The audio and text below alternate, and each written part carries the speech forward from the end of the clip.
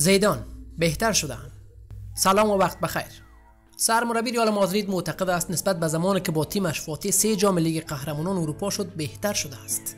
با من حکمت الله رمزی همراه باشید و جهت حمایت از ما این ویدیو را لایک کنید و کانال همگام با ورزش را subscribe کنید.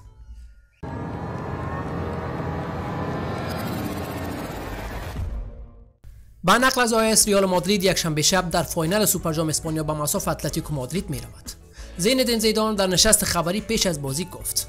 می‌دانیم چگونه بازی کنیم. به همین خاطر در این رقابت ها حاضر شدیم. برای ما چیز تغییر نکرده است. این دینه یک باشگاه بزرگ است. بازیکنان در اینجا حضور دارند تا در چنین دیدارهای به میدان بروند فشار بیشتر وجود ندارد. این دیدار مهم است چون پای یک جام در میان است. می خواهیم هواداران را خوشحال کنیم.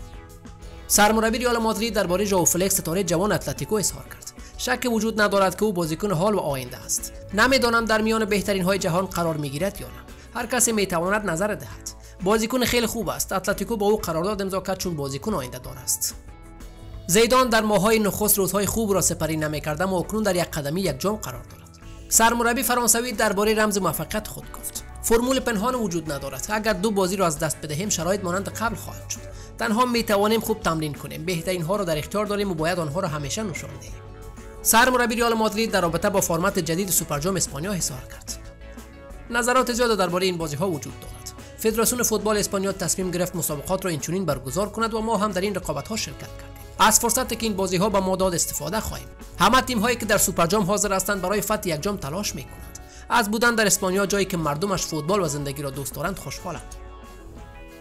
سرمربی فرانسوی در مورد شرایط خودش گفت. نسبت به سه قهرمانی پیاپی در لیگ قهرمانان اروپا بهتر شدم پیشرفت کردم در زندگی شخصی نیز در چنین شرایطی قرار داشتم. به کسانی که در کنارم هستند گوش فرا می‌دهم آنها خیلی ارزشمند بودند. از کاری که انجام می‌دهم خوشنودم. من با قلب خود کار می‌کنم. بارسلونا یک بار دیگر در نیمه های پیروزی را با شکست تبدیل کرد. حذف تیم کاتالانی شرایط ارنست والورده را در وضعیت پیچیده قرار داد. زیدان در این رابطه گفت مسئله والورده چیزی است که همه ما مربی ها تجربه کردیم. نمی‌خواهم خود را وارد این موضوع کنم. آن بازی چنین پایان داشت.